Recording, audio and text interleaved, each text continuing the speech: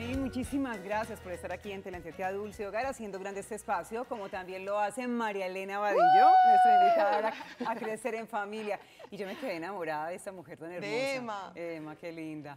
Bueno, ahora vamos a cambiar un poquito de tema. Vamos a hablar de un... A ver. A ver, ¿cómo lo dijéramos? Ayúdanos. Es un, tema que realmente en consulta... Muy frecuente. Muy frecuente, muy repetitivo, sobre todo de parejas. Y es el tema pues, que estaba esperando Andrea, yo no sé por qué con tantas Yo no, oiga, vea, pues ya me van a meter a mí, no me meten chisme. Hablamos de infidelidad, cómo gestionarla. María Elena, ¿cómo estás? Bienvenida. Encantada de hacer parte de este dulce hogar. Qué bella. Mira, leí hoy precisamente, no sé, me llegó una información que decía, casados, dos puntos. Cuando empieces a tener una amiga o un amigo secreto que sí te comprende, sabrás que vas camino a la infidelidad. ¡Wow! Tremenda frase. Vamos a hablar precisamente, María Elena, de, de, la infidelidad. ¿Por qué se presenta una infidelidad? Muy bien, ¿qué les parece si primero aclaramos qué es? Ay, bueno, está bien. Porque existe como implícito que un compromiso trae, por ende, que tú y yo decidimos sernos fieles. Pero ¿qué es ser fiel? Exacto. Hay parejas para las cuales el contacto a través de chat, coqueteo, sexting, texting, o simplemente una mirada, que mi pareja esté mirando a otra mujer en la calle con un deseo particular, ya representa que me está haciendo infiel. Hay otras que dicen, no, para mí si no hay encuentro sexual, no pasa nada. Incluso he conocido y he tenido en terapia parejas que dicen, eh, se acostaron, pero fue cuestión de una noche, fue un tema de tragos, para mí eso no es una infidelidad. Para mí infidelidad es cuando se pone el corazón. Entonces, lo primero que debemos aclarar es que cada pareja debe llegar a sus propios acuerdos y esto es algo de lo que casi nunca hablamos.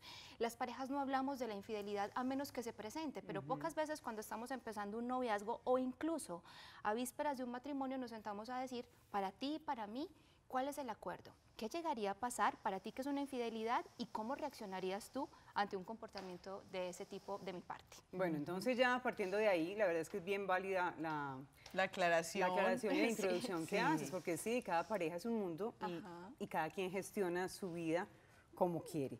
Eh, normalmente, eh, hablemos de, de esa infidelidad que es cuando la otra persona se involucra con otra de manera que ya esta relación ha terminado, es decir, ya no, no me despierta interés, eh, me da lo mismo si está o no está, y realmente yo quiero estar en otro sitio.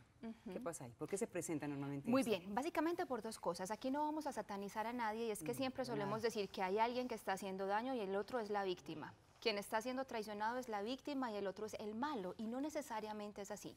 En consulta yo recibo, voy a, voy a hablar de mujeres y de hombres, que es como lo más común, donde la mujer es la víctima y el hombre por términos de Latinoamérica, donde estamos, pero igual debemos partir de que tanto mujeres como hombres tendemos a ser infieles. Esto no tiene mayor diferencia. Entonces, cuando llegan a consulta me dicen es que se reían en la cara de mí él y su amante. No, probablemente tu esposo no quería hacerte daño. El deseo no era lastimarte. ¿Por qué surge la infidelidad? Básicamente por dos razones. Primero, porque hay una necesidad en temas de pareja que no está siendo suplida al interior de la relación, no está siendo atendida, o bien puede que la pareja sea perfecta, porque también se presentan casos donde en consulta me dicen los esposos, María, no me hacía falta nada, mi mujer era la mujer perfecta, no me hacía falta intimidad sexual, no me hacía falta comunicación ni cariño, simplemente yo lo necesité. Y aquí mm. estamos hablando de temas emocionales, donde em, influye la autoestima, la necesidad de la conquista, reafirmar o incluso problemas no atendidos de la infancia, donde el hombre está buscando, a través de muchas experiencias con mujeres, completar una figura materna que probablemente estuvo ausente. La pregunta del millón, atención, ¿se perdona una infidelidad? Ok, perdonar, sí. Volver o continuar en la relación, depende. Y algo muy particular. algo muy particular es tener en cuenta esto. A mí me dicen, María, perdono la infidelidad. Y yo siempre le digo en mis talleres o en los eventos a las personas, perdona siempre. Porque de nada te sirve a ti vivir con amargura, con un dolor en el corazón, con rencor. Esto finalmente es un veneno para tu alma. Decidir continuar o no en la relación no va implícito con el perdón. Tú puedes decidir perdonar hoy a tu pareja por la traición, comprenderlo, no juzgarlo, pero no necesariamente continuar a su lado. Hablemos de ese escenario donde la pareja puede continuar después de una infidelidad y hay varias cosas aquí súper importantes. ya iba ahí. Suéltelo, María Elena, suelte todo lo que traiga para nosotras. Hay de infidelidades a infidelidades, ¿vale? Entonces, no es lo mismo una pareja donde eh, hubo una infidelidad que fue espontánea, esporádica, a alguien que lo ha hecho recurrentemente. O sea, como el chavo del 8, se le chispoteó. Me llegan a consulta o en talleres, María, lo he perdonado cinco veces, ¿qué hago? La pregunta es, ¿usted qué hace ahí? ¿Usted qué hace ahí? Una, bueno, dos, venga, vamos a revisarlo, de ahí para allá. Ahora, Algo está pasando. Claro, listo. ¿Qué, ¿Cuándo perdonar una infidelidad o cuándo continuar o intentar salvar una relación? Primera clave para los televidentes, si confrontas a tu pareja porque le encontraste, perdón Andrea, le encontraste unos mensajes en el celular, tienes la evidencia y lo confrontas y tu pareja te niega la infidelidad, esto es una mala señal. El primer paso para reconocer cuándo vale la pena continuar en una, en una relación es que la persona que cometió la, la traición reconozca de corazón que se equivocó. Que me equivoqué cometí una falla, lo reconozco. Paso número uno, si lo niega hasta la muerte, ¿qué están intentando salvar?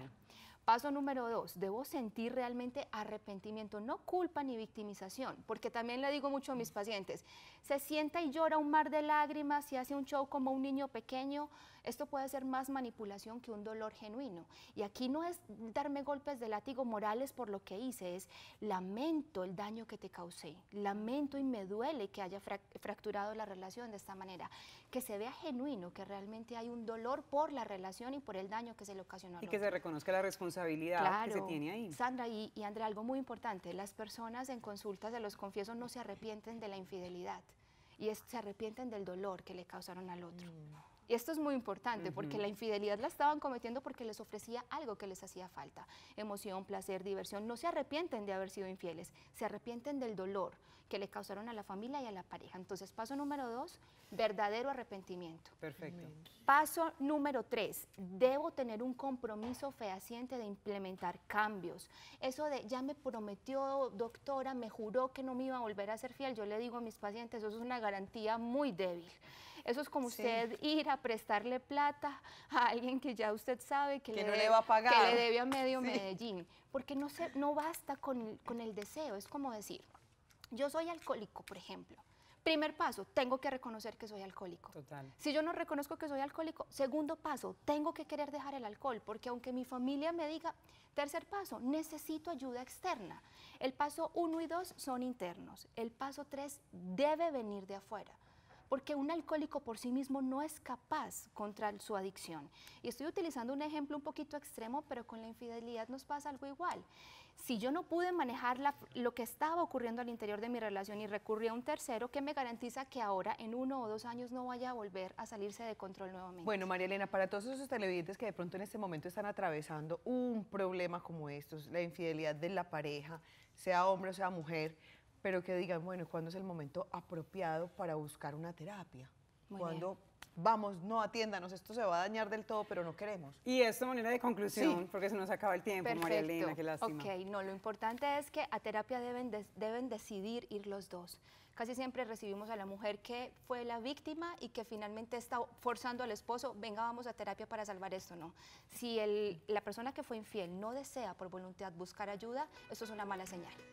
Bueno, pues ahí está el tema, la infidelidad. Hoy hablamos de esto en Teleantioquia Dulce Hogar con Marlene Vadillo. Gracias por siempre estar tan dispuesta tocar estos temas así que a veces parece que son como espinosos, pero tú les das, les restas los Lo hemos gestionado, lo, hemos gestionado. siempre bienvenido. Gracias. Tú